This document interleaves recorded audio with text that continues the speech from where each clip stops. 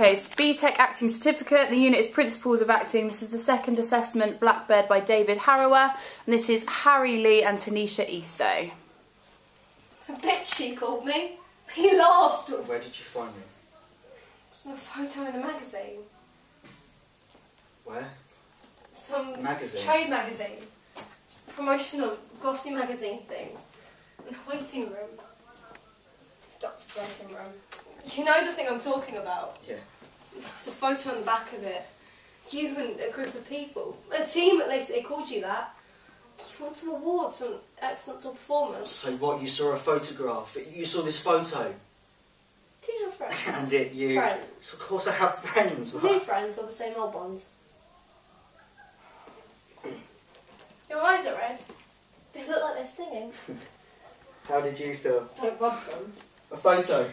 So you drove here. Yeah, do you want to see it? No, I don't want to see it. But you know the Yes, photo- Stop rubbing them. they hurt. Because you're rubbing them. I robbed them because they hurt. It's the only way to stop them from hurting. So you drove here. Yeah. How many hours? How long did it take you? I don't believe. Is it me? Am I making that happen? Are you allergic to me? You're just not going to talk. We're going to walk outside. We're up on your feet. We're going to walk outside. We're going to walk You know I wrote you letters. Letters? They, never got any letters. they were When? never sent. When was this? What did they say? I wasn't meant to send them. They told me, the people who helped me, they, who afterwards, to write you a letter, letters, telling you what I thought of you, what I felt, what I wanted to say to you, and to not let it, not let you have win authority. Authority, what's...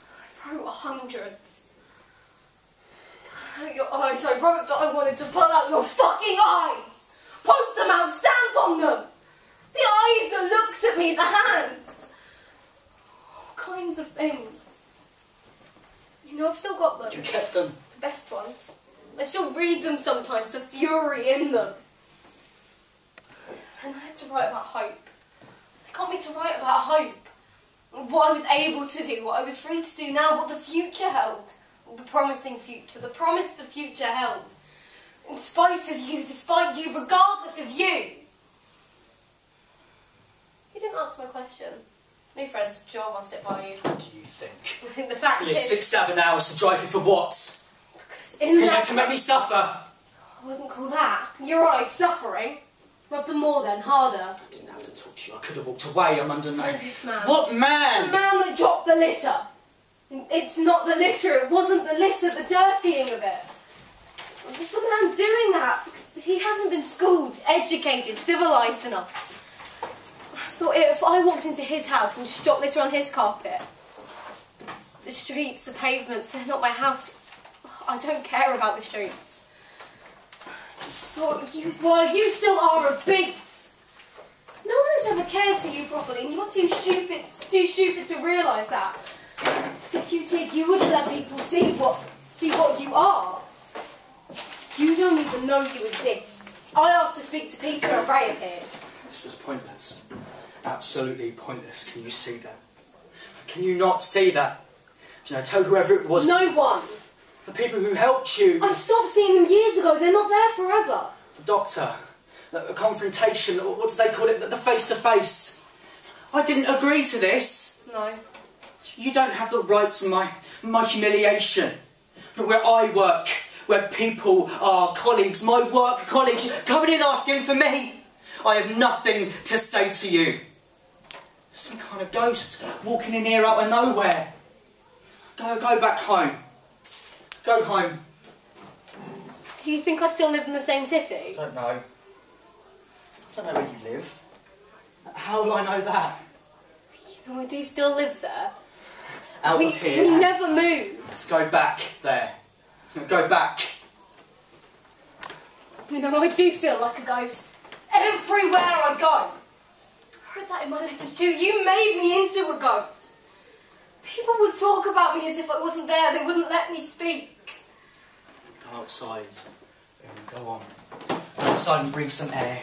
Get some air, get into your car and and stop being a ghost because this, this should never have happened. Are you feeling any better yet? Is this doing you any good? Yeah. And that's that, is it? I have nothing to say to you. You're beyond. How the hell is this good? Tell me. Except you can't, because you, you don't know why you're here. Now tell whoever it was. Nobody, I told you. And I don't care. Where are you going? I don't care. Don't go. It's not my responsibility. Ray, don't leave me. Ray. Don't leave me in here.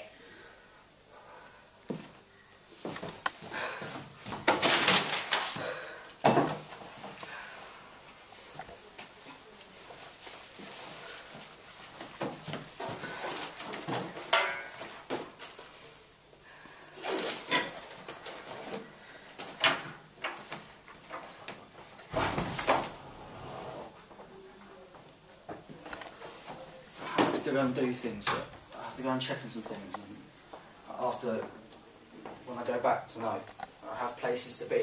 People are relying on me, you know. What, what are you doing?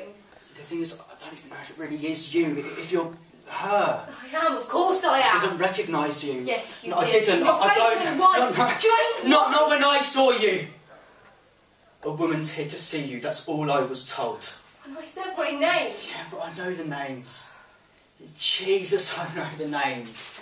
I mean, you could be a friend of hers. Your hair's a different colour. I'm not. A, a journalist, a, a reporter, I don't know. I don't know what any of this is supposed to mean. How many of the 12 year old girls have you had sex with? None. Do you want to see the birthmark? You kissed it. All what you said to me on that beach, pointing across the sea to Holland. All on that bed in that room. None. You know, we change 12 year olds. We grow up to be older, so think. None. Just me then. In that room. You know, I thought it'd be harder to look at you. To talk, I almost turned back, but it's not, it's easy. I would have recognised you anywhere with my back turned to you. I saw your eyes before I said my own name, I saw you. Do you have someone? Do you live with someone?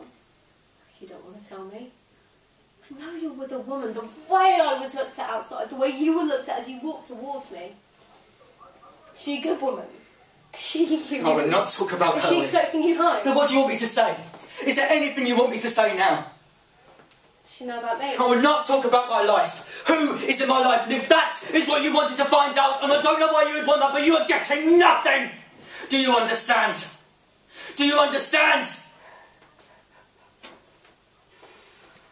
You know my dad died. You didn't know. Didn't reach you. Six years ago. Maybe you weren't here, maybe you were somewhere else. I was here. How? Tripped and fell down some steps. He deteriorated. You know, he never got over it. You weren't guest in our home, I was his baby girl. He invited you as a guest into our home. He tried to find you. He knew where I was for the first four years. I wanted to kill you. Not a second thought. He said it all the time. It was... You know, he would have killed you.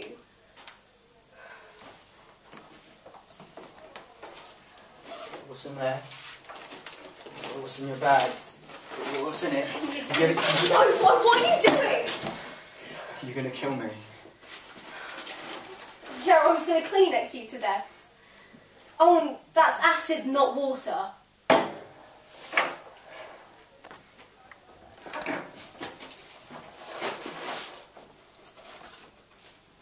Then when I saw it, the, the photo, it's not clear, but I knew it was you.